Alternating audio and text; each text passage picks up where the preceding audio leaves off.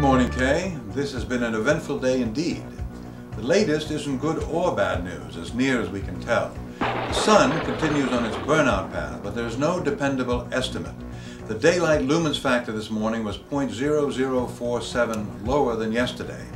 If that rate increases, we would have total burnout in three weeks. Do you remember uh, Don, the, the repairman from the plant? Yeah, he isn't. I think so. Isn't he the guy that? Ne- never mind. Look, he's in my kitchen, and he. Oh, just come here.